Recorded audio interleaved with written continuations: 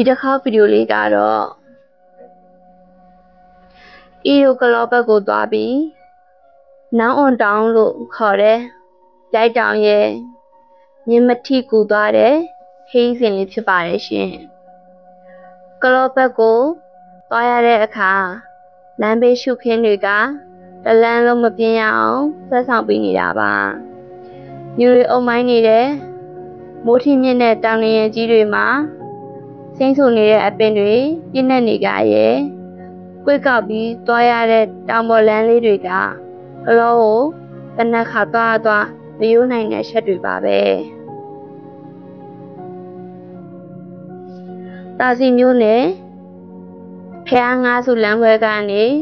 တနာရီလောက်မောင်းရင်ခေးတစ်ထောင်နာလို့ကောင်းတယ်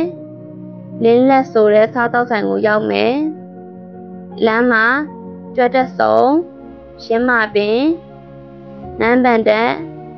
ပြီးရင်ဝက်ဖြူရည်မရောက်ခင်လေးမှာပဲလင်းလက်စားတောက်ဆိုင်ရှိတယ်ဆိုင်အခင်းချင်းထက်ကိုရှုခင်းကပို့ပြီးတာရပါတယ်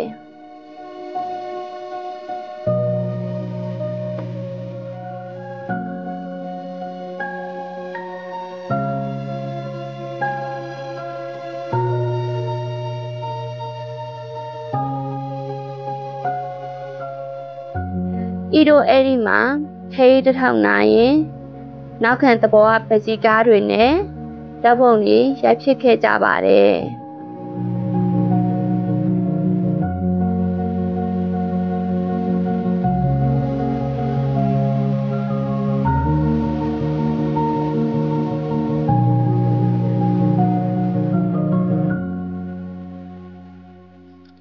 အဲ့ကနေ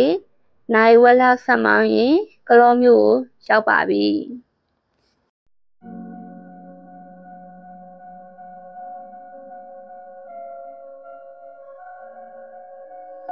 ကလောမျိုးမဆေးမှာမနက်စာရှမ်းခေါက်ဆွဲဝင်စားပြီးလိုက်တောင်ဘက်ကိုခရီးဆက်ခဲ့ပါတယ်ကလောကနေဆိုမိနစ်20စာလောက်ပဲဝေးပါတယ်အောင်ဘက်တိုကိတ်အရှလက်အကျော်က မျိုးစီမှာစီဖြစ်ရင်ခဏဝင်နာခဲ့ကြတယ်ပြီးတော့ပင်လောင်လက်ခွဲရောက်ရင်မြင်းမတိဘက်ကိုညာဘက်ရှိုး10မိနစ်လောက်မောင်းရင်ပြိုက်တောင်ရောက်ပါပြီ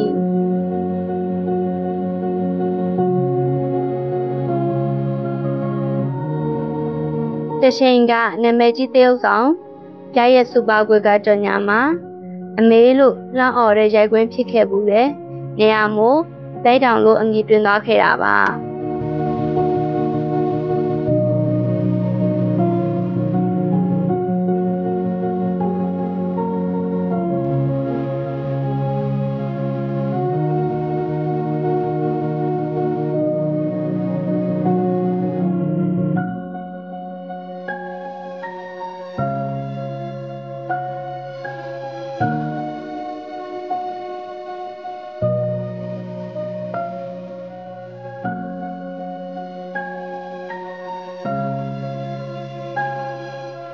ဓာတ်ပုံအလှလာရိုက်ကြတဲ့လူများပါတယ်။တောင်ကပယ်ရန်နောက်ခံတောင်ပေါ်ကယထာတလန်တောင်ထိပ်မှာရှိတဲ့မိုးရီလောင်တဲ့ကန်အဲ့ဒီသုံးခုကအထင်ရှားဆုံးပါပဲ။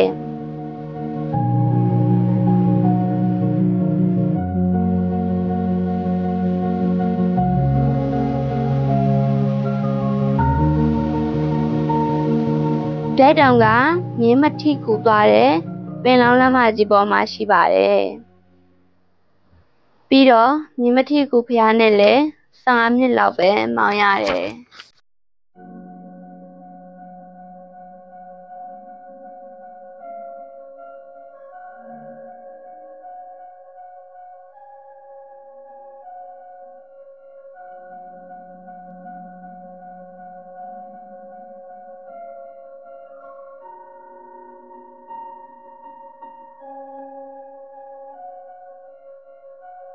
ကူထဲမှာတော့ဖះအစုပေါင်းများစွာတွေ့ရပြီးကြောက်ဆက်ပန်းဆွဲတွေကလည်းသဘောအလျောက်ပုံစံအမျိုးမျိုးနဲ့နှစ်နေလာပါတယ်။ဘော်ဒီညောင်ပင်ပုံစံရှိလို့ဘောရီညောင်ကြောက်စင်ကြောက်ဖားကြောင်မောင်စသဖြင့်နမည်အသီးသီးတက်ထားတာတွေတွေ့မြင်ရပါတယ်။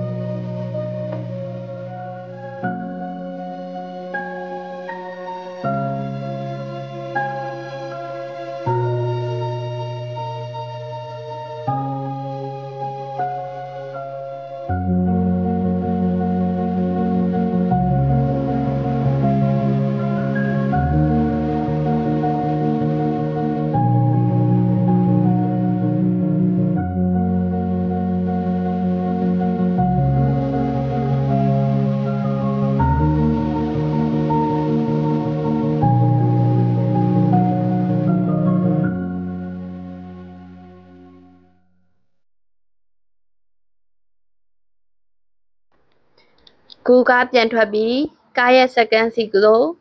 ဒေးတန်းလေးဖြတ်ပြီးရှောက်ခဲ့ရတယ်။ရိုးရာအထည်မျိုးမျိုးနဲ့ဒေသထွက်ပစ္စည်းဆိုင်လေးတွေအများအပြားကိုလည်းတွေ့ခဲ့ရပါတယ်။။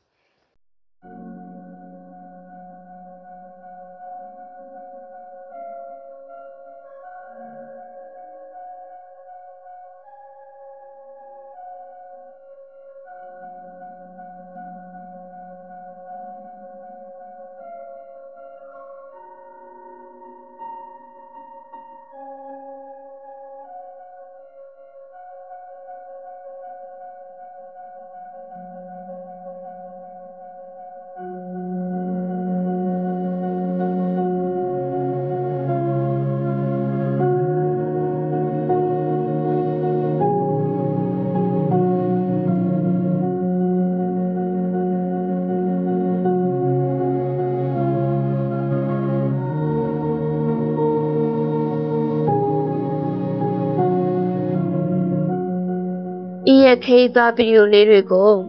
အသစ်တင်နိုင်ကြည့်လို့ရအောင် subscribe လေးလုပ်ပေးပါဦး။ကျေးဇူးတင်ပါတယ်ရှင်။